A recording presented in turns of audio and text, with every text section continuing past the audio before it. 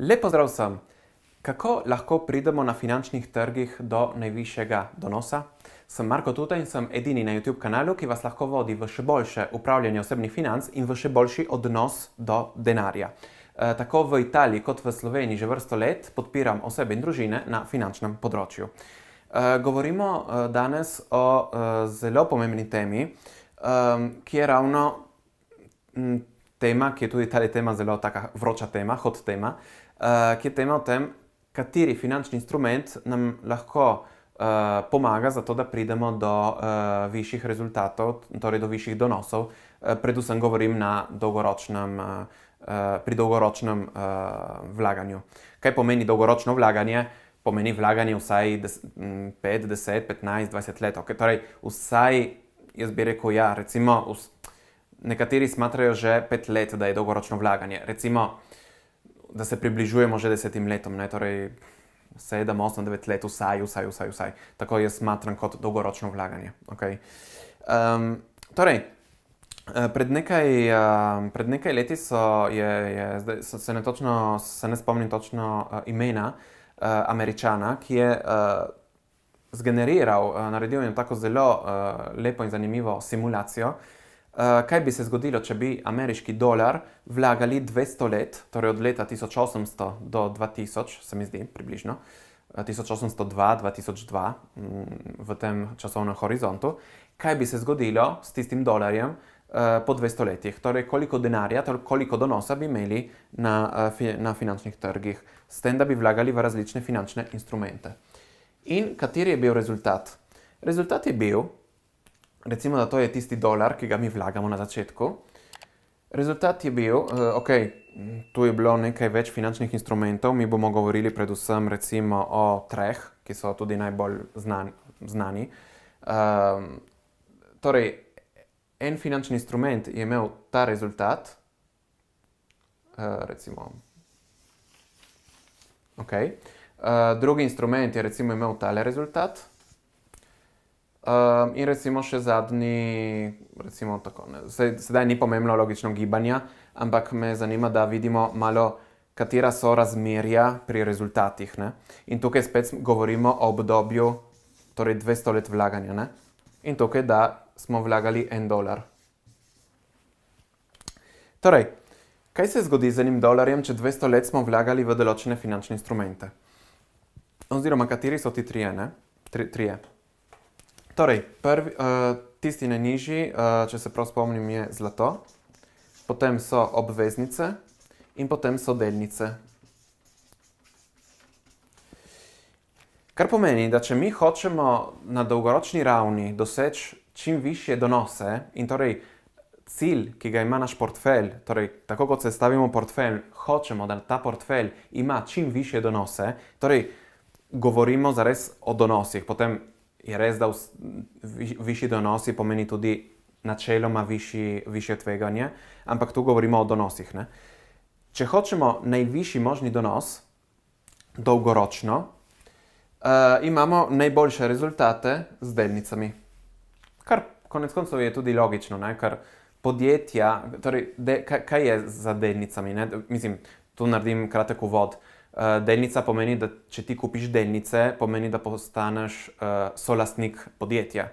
Reci, torej, uh, če ti kupiš delnice Amazona, pomeni, da si solastnik Amazona in torej imaš določene pravice zaradi tega, ker, si solastnik. Potem logično, da v deležu ne boš imel isti delež kot uh, Jeff Bezos ali drugi, uh, uh, drugi, drugi big investitorji uh, v, tem, v takih podjetjih. Eh, ampak vsekakor ste so lastniki in zato imate določene pravice. Ne? Recimo to, da vam izplačujejo dividende, da lahko to, te delnice prodate, ne? Eh, ko kupite, potem ste lastniki teh delnic in lahko prodate.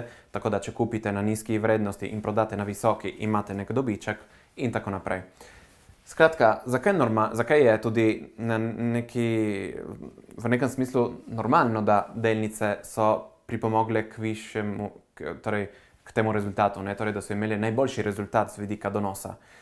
E, zaradi tega, ker za delnicami so podjetja, je, realno, je gospodarstvo, je realna ekonomija in podjetja, kot vidite v vseh zadnjih stoletjih, podjetja se razvijajo.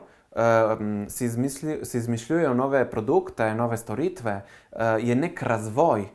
Okay? Podjetja, če gledate predvsem ameriški trg, sedaj ne vem, kaj se bo zgodilo v naslednjih letih, lahko tudi, da na mesto ameriškega trga bo na prvem mestu kitajski trg, ne vem. Ampak je, so vedno podjetja in podjetja vedno strmijo k rasti. Ne? In to na katerem koli področju. Zato je tudi normalno, da smo imeli določeno rast, ne? dolgoročno. Sedaj, logično. Uh, so, recimo, če gledamo eno tako obdobje, je lahko vsekakor nek padec. Ampak dolgoročno gledano, ne, če gledamo big picture, uh, imamo um, zelo dobre rezultate pri delnicah. Potem malo manj obveznice, s tem je tudi vezano tveganje, ne, torej tudi je drug finančni instrument in tako naprej. Skratka, vidite rezultate ne, in uh, zlato potem na najnižji ravni. Um, spet ni, ni, ni tako gibanje, ampak samo da vidite razmerja rezultatov. Ne. Eh, potem mislim, da so, je bil še en, en finančni instrument vključen, ampak okay, je, bil, uh, bil vsekakor na nizki ravni. Ne. Tu obravnavam samo tiste finančne instrumente, ki so morda še najbolj znani in najbolj, uh, ki jih najbolj uporabljajo uh, vlagatelji oziroma izberejo vlagatelji za, za, za vlaganje. Um, zato vidite, da ko nekdo, torej na preprosto vprašanje, kako lahko dosežem najviše donose na finančnih trgih, je logično, da vprašanje, odgovor je delnice. Je treba vlagati v delnice. Kako vlagamo v delnice, pa je to stvar drugih posnetkov, ki sem jih tudi uh, posnel v prejšnjih tednih, mesecih, tako da vas vabim, da si ogledate tudi posnetke vezane na delnice, kjer tudi malo bolje obrazložim tale koncept. Uh, ampak delnice so najboljša rešitev. Um, potem ali kupimo posamezne delnice, sklade, delniške sklade, karkoli, ampak pomembno je, da izberemo tudi naš portfelj.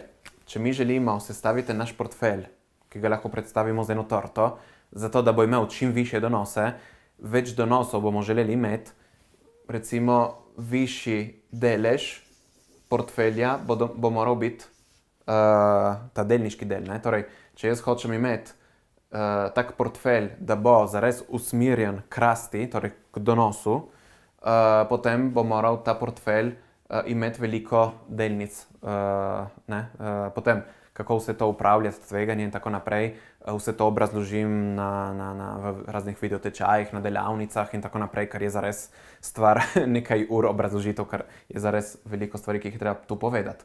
Ampak že da, da ste razumeli ta koncept, ste razumeli tudi približno, kako se potem konec koncev sestavlja portfelj, torej razmerje delnice obveznice. Torej, več večji je delniški delež eh, portfelja, uh, vi bomo strmeli k višjemu donosu. Uh, če pa bo tale, recimo, če to so delnice, ne, če tu so obveznice, pa bomo morali ta obvezniški del povečati, če bomo želeli imeti nek portfelj, ki bo varnejši, ampak bo tudi imel manj donosov. Okay. To je glavni koncept, ki je dobro ga poznati v svetu, v svetu investicij in vlaganj in zato uh, vas vabim tudi, da malo premislite glede tega. Uh, tisti, ki pa ste bolj motivirani in se zavedate, da morate čim prej začeti uh, strukturirati pravi portfelj za vas, da boste lahko dosegli določen donos v naslednjih letih, potem vas vabim, da kliknete na spodnji link.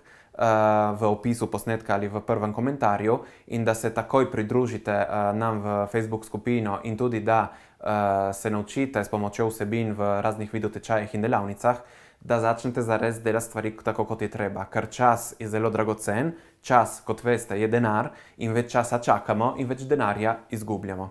Okay?